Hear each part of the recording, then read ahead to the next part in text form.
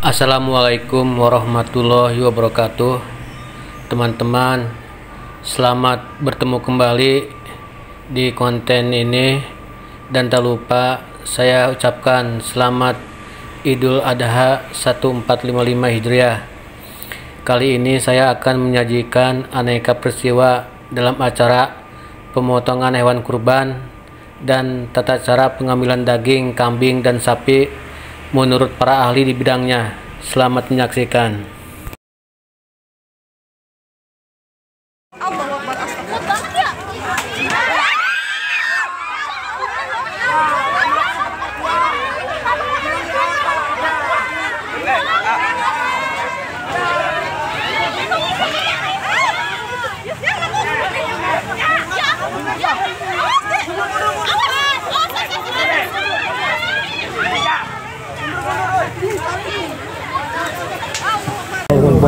Jelas ya? Jelas ya. Jelas ya. Allah. Aku besar lagi ya.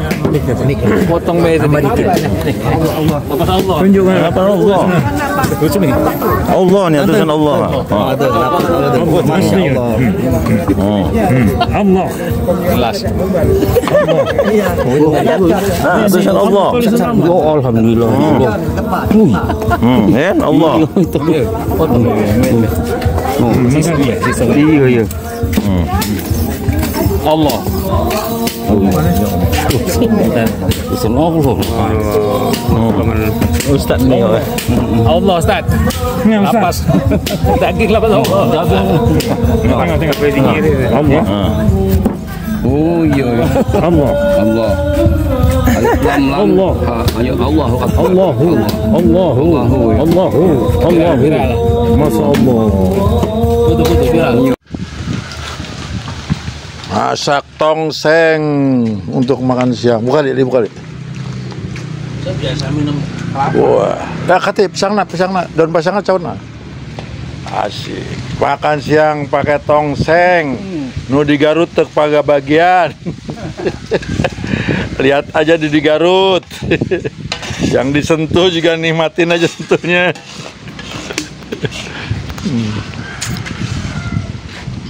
Mana lagi sentuh? Oh, oh. Teman-teman, mungkin hari ini kita telah selesai dalam pemotongan hewan kurban. Namun saya di sini hanya ingin menampilkan cara pengambilan daging kambing dan daging sapi di tangan para ahlinya. Selamat menyaksikan dan mengikuti.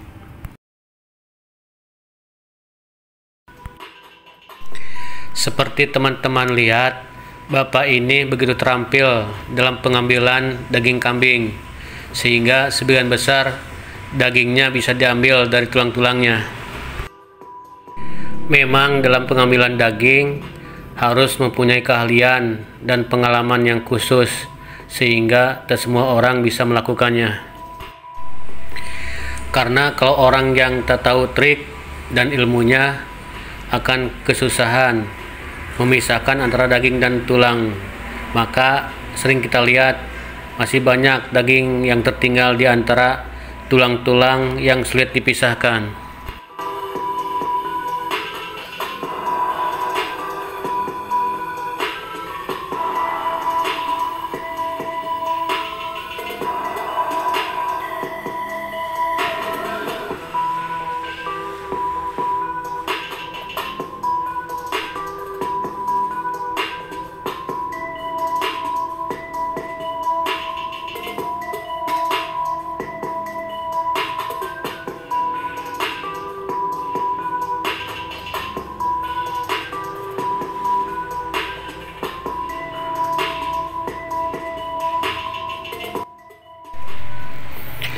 Beliau sangat terampil dalam memisahkan daging-daging di antara tulang-tulang iga.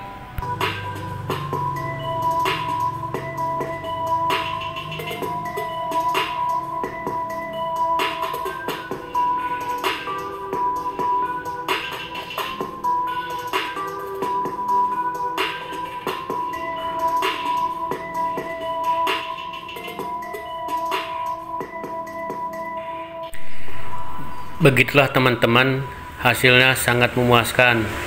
Daging yang bisa diambil dari seekor kambing, dagingnya sangat maksimal. Suatu saat bisa kita coba ya teman-teman. Walaupun hasilnya mungkin tidak sesuai dengan harapan.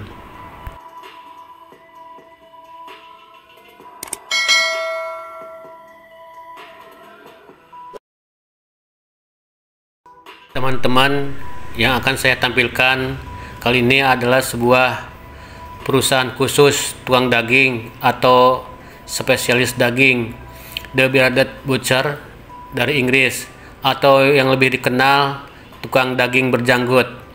Perusahaan ini khusus memotong daging untuk bisnis restoran dan sejenisnya.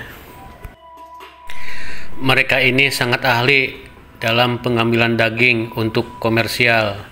Misalnya, dia tahu letak daging yang enak letaknya ada di mana, serta cara memotong daging iga yang sangat indah. Semua dikerjakan dengan teliti dan hati-hati agar tidak mengecewakan konsumennya.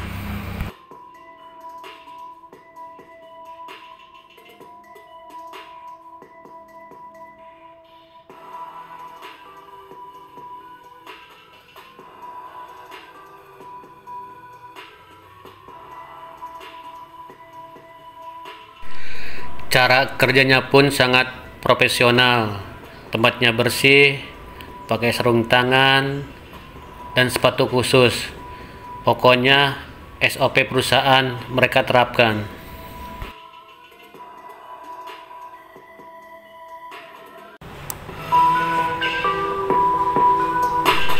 Mereka kerja sangat teliti.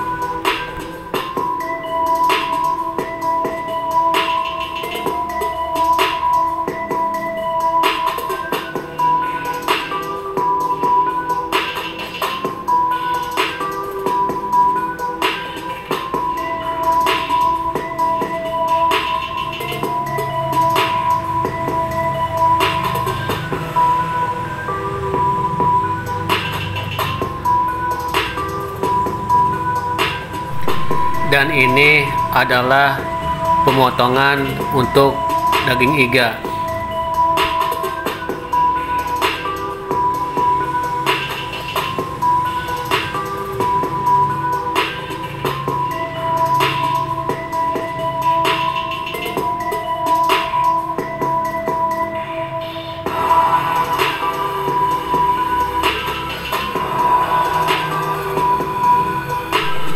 seperti yang teman-teman lihat hasilnya sangat sempurna tidak mengecewakan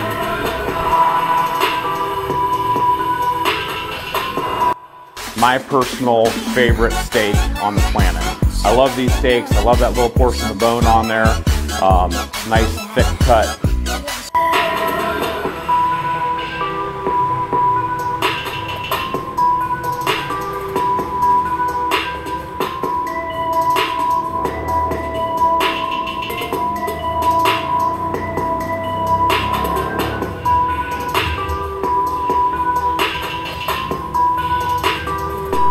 Yang ini beliau sedang mengolah daging iga